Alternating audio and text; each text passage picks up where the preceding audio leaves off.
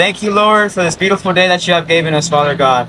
I pray that you open up our hearts, Lord, that the message and the scripture that we shall read, Lord, that will touch our hearts, that we shall live out your word, Father God, and you be with us today, Lord. Two scriptures that I um just really like. So the first one is Ephesians 4, verse 2. Always be humble and gentle. Be patient with each other, making allowance for each other's faults because you're loved.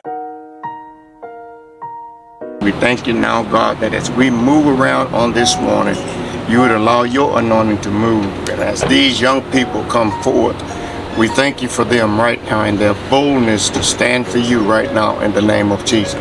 because as a nation, there's people that really need us to stand the gap for those that um, don't have hope. They don't have love. They don't have um, the way to, to see the truth. Thank you for these amazing young people, God, and, and administrators and teachers that are here today. We ask you, God, that you may just hear us this morning. This morning is dedicated for us to bring God to our schools, for us to bring God to our friends and family, Lord. So broken, lost, empty. A heart with no beat. A singer with no song to sing. So I know the feeling. The silence is deafening. But in your pain lies a blessing in a sweet and sour victory.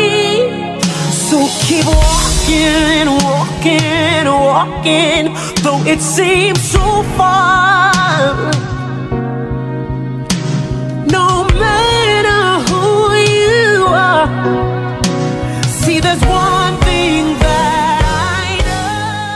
He knows every step that you will take, but you must take those steps with God. Because if you take these steps with the world, the world is temporary. The world will not last. Our God is eternal. He will lead you to the way and the life. Repeat after me. I believe that you are Lord and you died for our sins.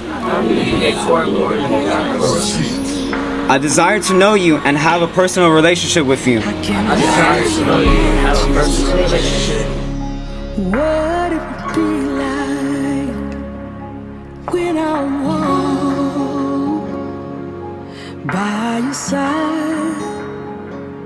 I could only imagine, yeah, what my eyes will see. Uh, what we want to do is get something started. Obviously, it's important to y'all too. All right. Thank y'all for coming this morning. Give yourselves a hand.